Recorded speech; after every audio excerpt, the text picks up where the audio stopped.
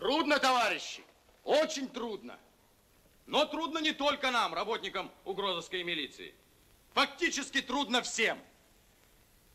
Разве не трудно болгарским и немецким коммунистам смотреть, как капиталисты фактически задушили в их странах революцию? И товарищу Ленину, вождю всемирного пролетариата, тоже очень трудно. Раз он по своей болезни даже не смог присутствовать на 12-м съезде партии, чтобы самолично с трибуны дать отпор всяческим защитникам кулаков и спекулянтов. И сотням наших товарищей, которые в сущности безработные, тоже очень трудно. Так как у них есть жены и дети, которые фактически просят есть. Трудно, всем трудно. И все-таки наша рабоче-крестьянская власть существует целых шесть лет. Душевно вам скажу, будет существовать, покуда светит солнце.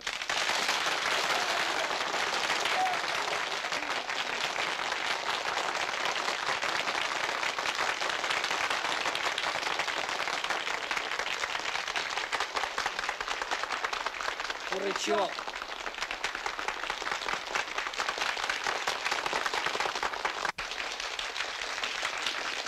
Но поработать нам еще придется, товарищи. Непманские элементы все еще на что-то надеются и как могут вредят нам. Вы, конечно, знаете, что нам пришлось удалить из аппарата старого работника, увлеченного во взяточничестве и грязных связях с непманскими элементами. Сейчас мы будем делать ставку на молодые кадры работников. Мы должны быть уверены в их неподкупности.